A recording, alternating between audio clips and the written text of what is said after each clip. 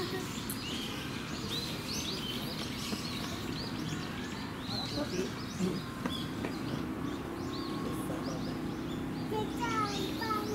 đó là để biết Hãy subscribe cho kênh Ghiền Mì Gõ Để không bỏ lỡ những video hấp dẫn